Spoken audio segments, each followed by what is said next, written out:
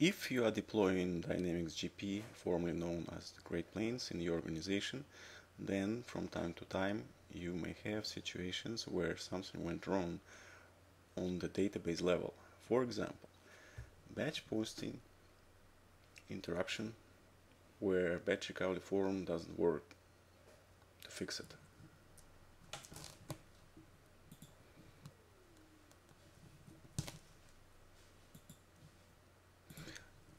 I'll be showing you uh, interface of uh, Microsoft Dynamics GP uh, version 2013. Maybe you got even more dramatic scenario where your general ledger debit and credit are unbalanced. In this small publication we would like to, to talk about the GP data recovery tools with few popular examples. In, in order to read this article you don't have to be a programmer. It is written in popular way, so if you are IT director or business owner, it should be easy enough to read it and get an idea. Before you call a data repair consultant, we would recommend you to come through recommended data maintenance procedures. There is a chance that checklinks will fix the issue.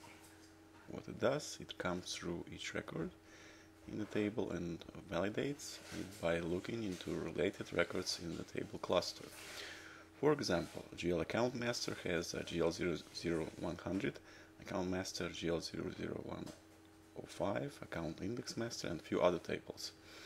And let's imagine that uh, GL00100 account is present, but the related record in account index master is missing. Check links should be able to recreate record in account index master table. And now let's take a look how to get to get there.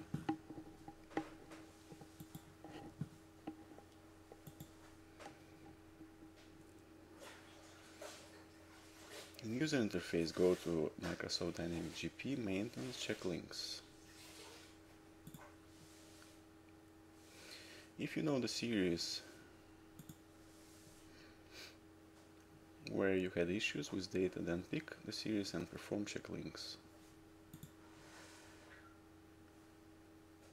If you are not sure, then include all the tables and run check links overnight. Let's imagine that you, that you have issues in financial series, then include all the tables in financials, and perform check links. Click OK and it's going to do the job.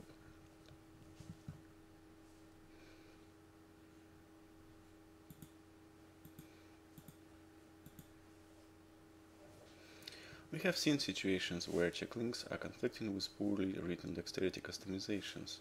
So if you have a unique dexterity module coded spe specially for your company, our recommendation would be to make company database backup prior to checklinks.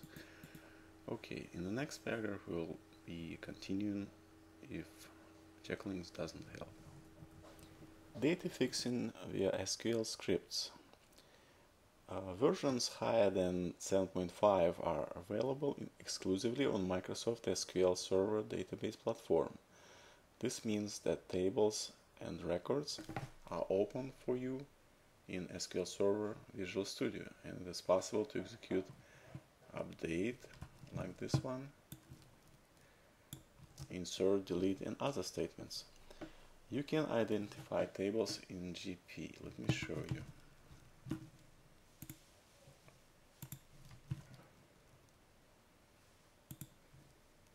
Microsoft Dynamics GP tools resource description tables.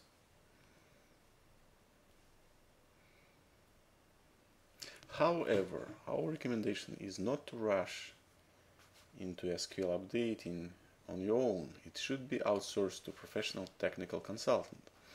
In our practice, we have seen challenging scenarios in payroll and payable batches posting crashes as well as GL double entry recovery and historical year reopening.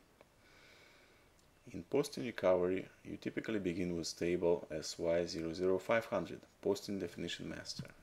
I'm going to show you this table.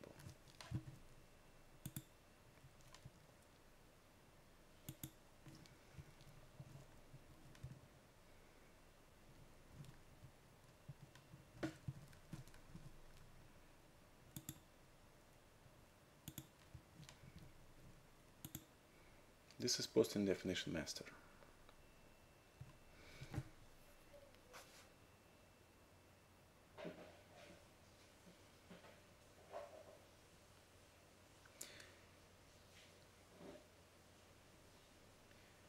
In US payroll review tables UPR 3 or 100 payroll check history, let me show you.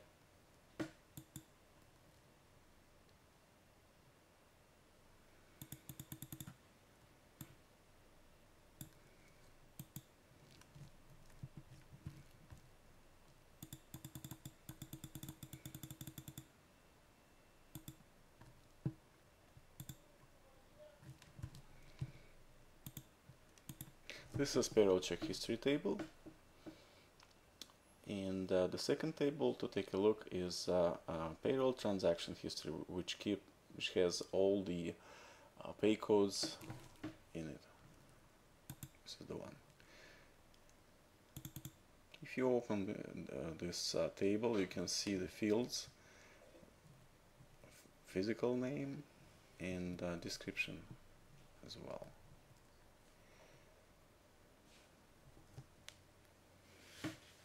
In payable management tables to deal with are PM 20,000, PM transaction open, EPM 20100 apply to open table. Let me show you these tables.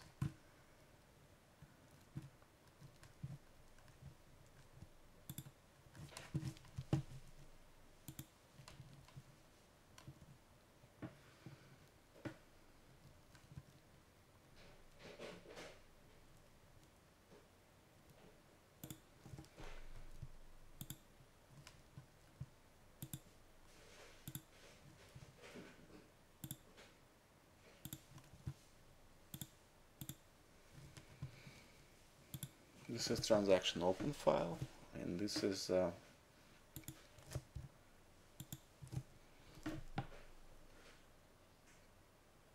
apply to open file.